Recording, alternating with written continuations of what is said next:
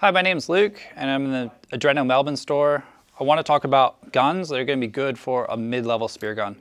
This could still be a first spear gun that you might purchase, or something you want to upgrade to, but mid-level is something that's going to last a couple years for you, and then also stay within a, a good, decent budget. So we find that $300 is a sweet budget, and that would vary between two to $300. You got some options there. Um, things to look at is you're gonna have options in the muzzle, either being closed or open, right around that transitional range. Um, and then also rubbers being 14 mil or 16 mil. It does differ between guns at that range there. So this is a Beuchat grommet. Um, comes in a variety of different sizes or lengths for you. Uh, but the things to note is it's gonna be a closed muzzle. It's gonna come with 14 mil rubber. It does have a muzzle bungee installed and that'll be easier to go onto the mechanical line release onto the gun. Um, so it's pretty much sweet. Everything's pretty strong on this gun. The one thing to note to add is definitely a shark clip, and that'll be going to your, your float line and all that type of stuff so you don't lose your gun. Uh, but all in all, this is a very popular gun that you walk in, grab it, and you're ready to jump into the water and use it. Uh, we have a couple other guns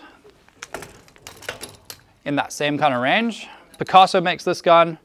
Um, this is their 14 mil option that works very well for us because we're shallow water divers, uh, mostly in the bay. Um, but this is a open muzzle option for you. So the loading and stuff like that is slightly different. Um, runs uh, a pretty decent setup. You have another muzzle bungee here.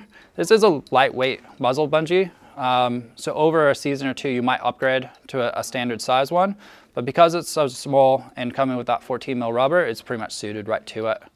Um, mechanical line release, and you would still add a shark clip to the bottom there. Uh, just note that Picasso in this model, there's no safety. Um, so that is stock standard with it.